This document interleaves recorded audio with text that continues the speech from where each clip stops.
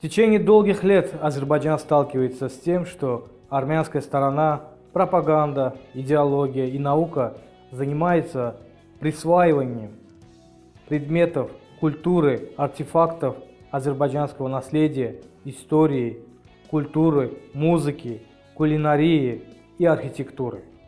Мы уже привыкли к этому. Однако в последние годы мы уже начали сталкиваться с нечто более новым, скажем так, ноу-хау армянской идеологии.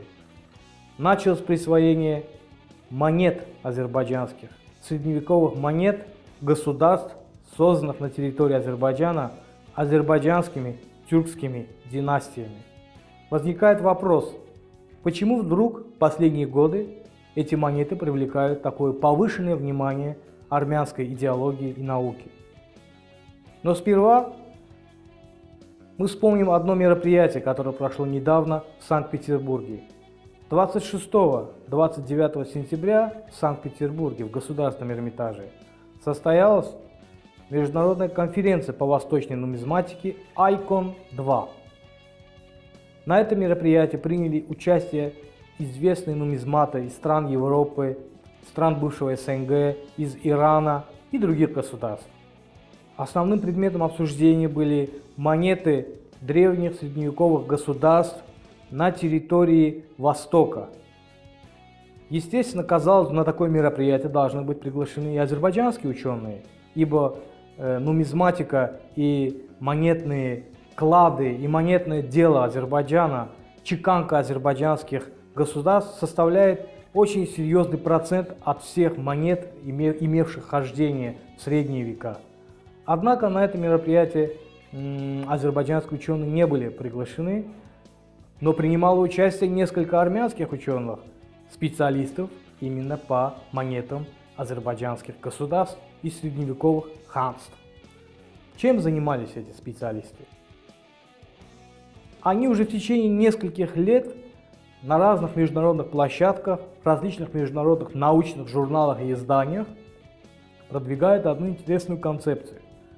Они хотят доказать, что средневековые азербайджанские государства и все монеты, которые они чеканили, мусульманские, тюркские, азербайджанские государства и их монеты являются частью армянского исторического, культурного и государственного наследия, частью армянской культуры и истории. Казалось бы, это странно, потому что э, если речь идет о монетах азербайджанских государств, в основном это исламский период, на них четко указаны, кому принадлежали эти монеты. Это видно, поскольку это написано арабской графикой. И казалось бы, как можно приписать, как могут армяне, э, являющиеся носителями христианской идеологии, веры, и связывающие свою историю совершенно с другими концепциями, как они могут присвоить мусульманское, тюркское, азербайджанское монетное культурно-историческое наследие и нумизматику. А очень просто. Э, в этих статьях армянских авторов, которые публикуются за рубежом, в том числе и в Европе, а также и в России, четко указывается, что перманентно на территории Древней Армении на Кавказе, а точнее Восточной Армении, как они называют территории нынешней республики Азербайджан, создавались всякими кочевниками некоторые своего рода государства, и эти некоторые своего рода государства чеканили разного рода монеты, но эти монеты принадлежат армянам, ибо там где-то рядом проходил Ашот или же где-то сидел Карапет. Понимаете, что тут получается? Эти некобы перманентные азербайджанские тюркские государства, если рассмотреть, как минимум тысячелетний отрезок истории. В течение тысячи лет, как минимум, в этом регионе правили и создавали государства тюрки, азербайджанцы или же сугубо мусульмане. Как понять армянскую сторону? Однако э, то, что нам кажется странным, совершенно нормально воспринимается на Западе и в России, ибо есть, видимо, какое-то понятие общих ценностей, они доверяют, верят на слово друг другу. Возвращаясь к конференции в Эрмитаже, посвященной восточной нумизматике, благодаря усилиям как Министерства иностранных дел Азербайджана, так и Национальной академии наук Азербайджана – удалось нам принять участие в этой конференции в Эрмитаже. В конференции приняли участие от Азербайджана патриарх азербайджанской и даже восточной нумизматики э, профессор Али Раджабли. Э, также выехал с ним я, ваш покорный слуга, директор Центра истории Кавказа, старший научный сотрудник Института права и прав человека Национальной академии наук, доцент ЮНЕСКО. Извиняюсь, что вас замучил долго перечислять свои регалии. А также в Петербурге к нам присоединился кандидат исторических наук Анар Садыхов, активист азербайджанской диаспоры в Петербурге. Мы приняли участие на конференции в Эрмитаже. В первый же день мероприятия нас принял руководитель Государственного Эрмитажа, господин Петровский, который отметил, что э, заявленный на конференции материал армянского автора под названием, обратите внимание на название его доклада, «Монетное дело ханств Восточной Армении» в скобках Ереванского, Нахчеванского, Карабахского и Гянджинского. Понимаете, о чем идет речь? Оказывается, у армян были ханства, хотя ханство является формой тюркской власти. Это слово исходит от тюрков, и так называли свои государственные образования сугубо тюркские народы.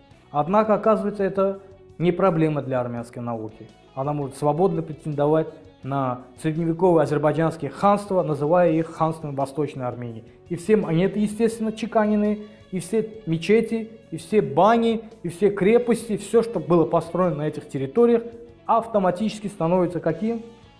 Естественно, армянским. Так вот, господин Петровский очень чутко отнесся к этому моменту и отметил, что название этого доклада и преамбула, где везде упоминается Восточная Армения, является самодеятельностью армянского ученого. Я не буду называть его имя, фамилию, оно общеизвестно, и дополнительной рекламы делать не собираюсь. Факт то, что было изменено название как самого выступления этого армянского ученого, хотя он является ученым Российской Федерации. Сперва он пытался отстаивать свои взгляды на закрытом совещании в отделе нумизматики Государственного Эрмитажа, что причина в том, что у нас с вами разные взгляды и концепции на историю. Но подождите, милейший, какие разные взгляды? Вы представляете российскую науку, а ведь не армянскую. У российской науки и азербайджанской нету противоречий в понимании того, что происходило на Кавказе и кому могут относиться средневековые азербайджанские государственные образования и монеты того периода. Это у армянской науки проблемы – Армянская наука всегда почему-то отличается от остальной мировой. У нее свои концепты, свои клише, свои понятия, свои выводы. К сожалению, мировая наука потакает и закрывает глаза на подобную, в кавычках, особенность армянской науки и восприятие истории соседних государств, в том числе Азербайджана. Благодаря нашему участию на конференции в Эрмитаже мы смогли не только донести позицию Азербайджана по, казалось бы, общеизвестным для науки понятиям, мы смогли также развить начальный этап, наверное, дальнейшего сотрудничества с государственным Эрмитажем. Однако этим проблема не кончилась. Достаточно ретроспективно посмотреть, мы убедимся, что армянские ученые, а точнее группа молодых армянских ученых – именно по нумизматике средневековых монет Азербайджана и государственных образований на территории Азербайджана везде публикуется, разъезжает по различным научным конференциям за рубежом и продвигает один концепт, что все государственные образования на территории Азербайджана являются армянскими, что Каракоюнлы, Ахкоюнлы, Сифивиды, азербайджанские ханства и другие государственные образования являются сугубо порождением армянской истории и народа. Это приведет к очень нехорошим результатам. Мы надеемся, что сможем перебороть. Однако возникает вопрос, к чему? Зачем взялась армянская сторона за монеты? А все очень просто. Монеты являются самым главным атрибутом признанного государства. Если среди атрибутов государства есть такие, как флаг, армия, независимая внешняя политика, но самым главным являются монеты, ибо чеканка монет и их распространение говорит о том, что это государство легитимно и признано на мировой международной арене. Так вот, весь средневековый период на Кавказе подавляющее большинство монет – это монет азербайджанских государственных образований, которые имели хождение далеко за пределами Кавказа и даже в Европе, а тем более на Востоке. А армянских монет как таковых вообще не существует в этот период. Вообще не существует, что является прямым и наглядным доказательством отсутствия армянской государственности на Кавказе. Вот что пугает армянскую сторону. И постепенные попытки присвоить азербайджанские монеты преследуют одну цель – доказать, что якобы у армян были какие-то завуалированные государственные образования, которые иногда захватывались со стороны всякого рода кочевников. И это на ура воспринимается, к сожалению, в серьезной академической науке как в Европе, так и в России. Видимо, есть какой-то общий взгляд, общие цели, общие какие-то проекты, которые совсем не на пользу Азербайджану. Будем надеяться, что мы сможем донести до зарубежной науки, в первую очередь российской и европейской, что подобного рода научная эквилибристика никакой пользы не принесет для их же интересов, для продвижения их же интересов на Южном Кавказе, а тем более в Азербайджане. Давайте жить дружно.